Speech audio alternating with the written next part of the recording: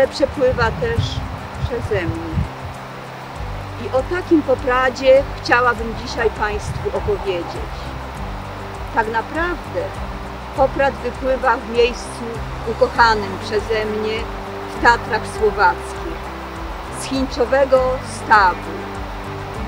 Tak o tym miejscu mówi Maria Lebdowiczowa w siedmiu najpiękniejszych fragmentach książki Rzeka z miasteczkiem w. Pełnym grozy i majestatu krajobrazie wysokich Tatr, przed wiekami, prawiekami może, narodziła się rzeka. W tym pozornie pozbawionym życia kamiennym otoczeniu tętnią nieustannie odwieczną pieśnią źródła, źródełka, wypływy wodne szukające ujścia ze skalnych wysokości w dół. Spływają w doliny, tworząc w ich głębieniach stawy i jeziora, dając początek potokom o krystalicznie czystej, lodowatej wodzie. Nadając skalnemu krajobrazowi niepowtarzalny charakter i znamie zachwycającego piękna. Wypłynęła potokiem z Stawu, wielkiego i głębokiego jeziora Tatrzańskiego. Narodziła się rzeka, spływająca z podniebnych krain ku dolinom. Rzeka płynęła ku dolinom, aż przypłynęła w to miejsce zwane piwniczną szyją. Ta ziemia oddała rzece wszystko, co miała najcenniejsze. Swoje źródła, także źródła wody mineralnej. Posłuchajmy, jak w gwarze piwniczańskiej o rzece piszą góralskie poetki. Najpierw Krystyna Dulak-Kulej, urodzona tutaj, najbliżej rzeki, na zawodziu. Ej, zawodzie, kwaśny zdroju, syt do sytu wniesie, a ponizy stary poprot starą wodę niesie. O innym miejscu w okolicy Zagród Krystyna pisze tak. Sumi poprot w dole, nad nim sum grabiny. W środku wioski pięć chołb na krzyż, chołpecka dziedziny.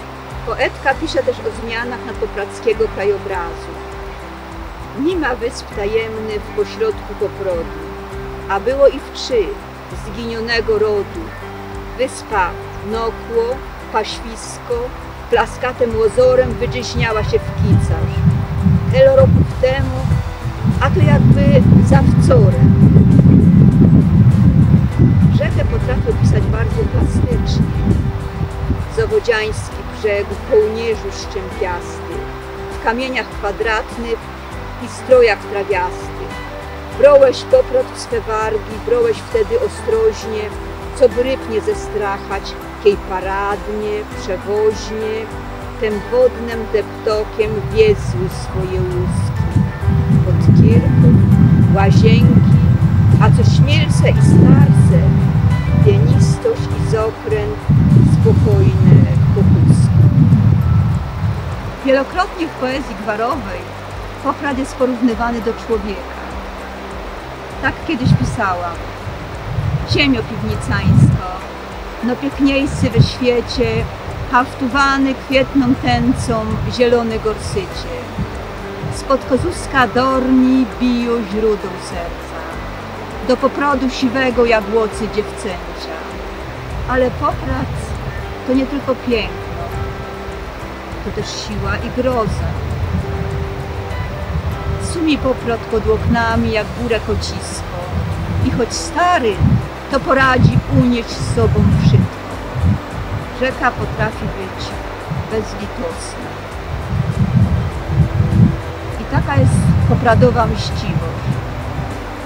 Zezłościł się poprot na złego sąsiada, zemu wodę zmącił, sprzezywał od dziada, zrósł wąskimi, zmrucą kamieckami, przyłowiecą zemstę bystrymi wodami.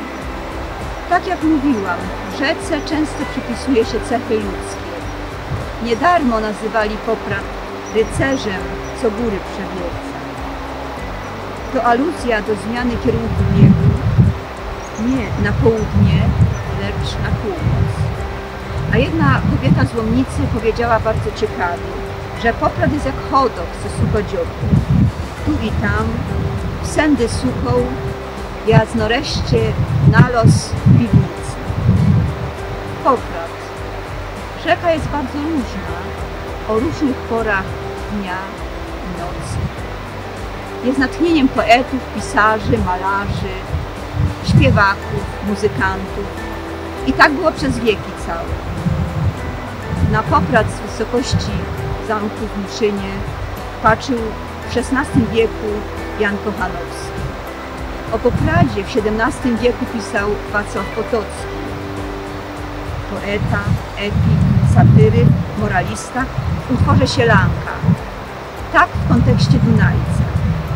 I z nim, z Wisłą na morze swoje siły złączy, pry, przybrawszy Poprad w sforę, pod sam sącz się sączy, do którego o dobrej, czującej drużynie zbiegną, a z Apollonem zastaną Zygmunt Stęczyński w poemacie Tatry pisał Takie to przyjemności między brodzie stawia i takiem wierzchomla do ciebie przemawia, gdy zaś idąc za ścieżką opuścisz jej głazy, piwniczna pól i chatek przedstawia obrazy. Dopiero się pojawią w rozwaliny, wystające poważnie z obrosłej buczyny, na wychylisku góry swym szczątków nieładem, zwieszone zaroślami swemi nad poprawem. W ogóle Poprad można nazwać celebrytą, bo kto miał okazję poznać tyle wybitnych osobistości? Bywali tutaj Józef Piłsudski, Wisława Szymborska, na, na Nuty Szaflarskiej bardzo ważny był dobór pobrany Church, a Adam Ziemianin bywał w młodości pisakiem na Popradzie. Poprad występuje też w wierszach poetek sądeckich Władysławy Lubasiowej, Janiny Bumorek, a Barbara Paluchowa z Piwnicznej pięknie pisze o nim, bo w Piwnicznej Poprad zajodłową bramę. Wspominał o nim Seweryn Goszczyński w dzienniku Podróży Zofia Naukowska, Widzenia bliskie i dalekie, Wiktor Bazielik, Czasy zamieszko i a nawet Maria Kownacka książce Szkoła nad Odwokami.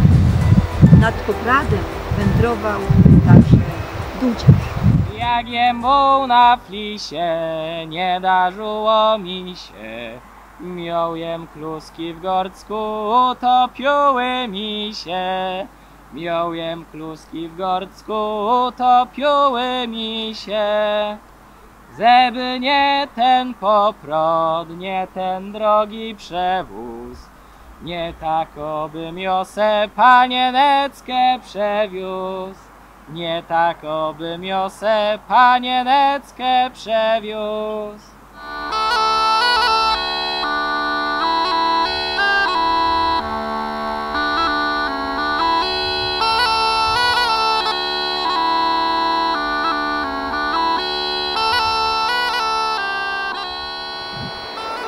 Dobrze tu pobyć, dobrze zasypiać i budzić się z szumem rzeki.